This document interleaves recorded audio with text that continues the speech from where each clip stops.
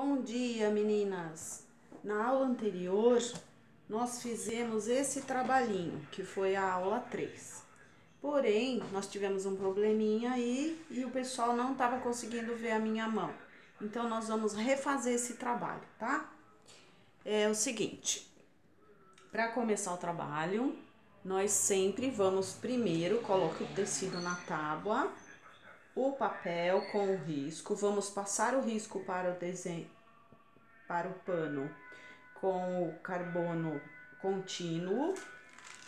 Passado o desenho, vamos por ao lado, ele já está aqui no tecido.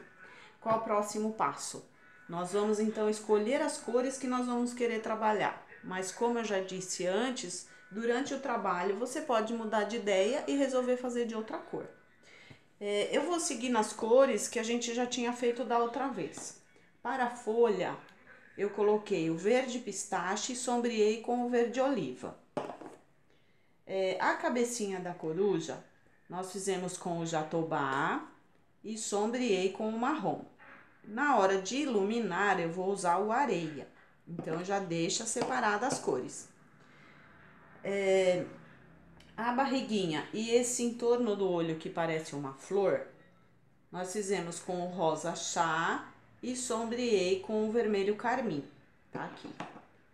A asinha, as peninhas daqui debaixo da cabeça e o rabinho, nós fizemos com o azul caribe e sombreei com o azul turquesa.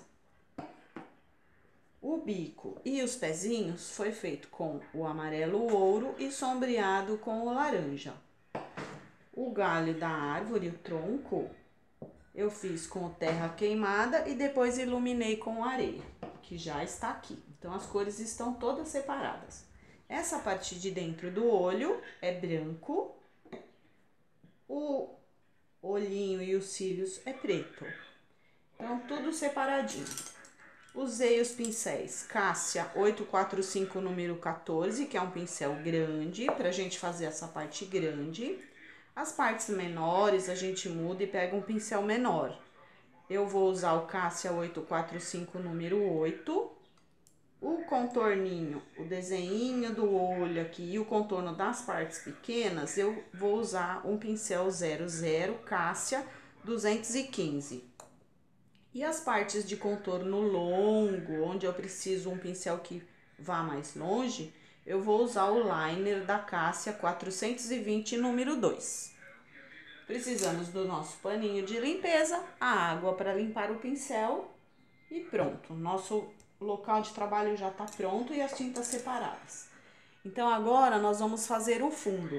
O fundo, no caso, não o fundo do trabalho, o fundo da, do desenho porque tem o fundo do trabalho e o fundo do desenho. Nesse caso, como nós vamos fazer uma pinturinha é, estilo country, nós vamos, não fazemos o fundo, fazemos só o fundo do trabalho, tá? Que no caso é a cor de base. Então, eu vou fazer o fundo de todos e a gente volta já.